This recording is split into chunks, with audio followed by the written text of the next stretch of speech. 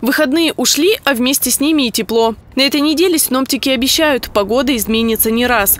Уже со вторника в Братске заметно похолодает. Столбик термометра будет колебаться от плюс 3 до плюс 6 градусов. При этом в течение дня в городе возможен дождь, а ночью температура может опуститься до минус 1. Но с четверга настроение брачан должно улучшиться вместе с погодой. Солнце появится в городе и термометры покажут плюс 12 тепла. Наступающие майские праздники в честь Дня Победы брачане не замерзнут на митингах и шествиях. Погода снова порадует.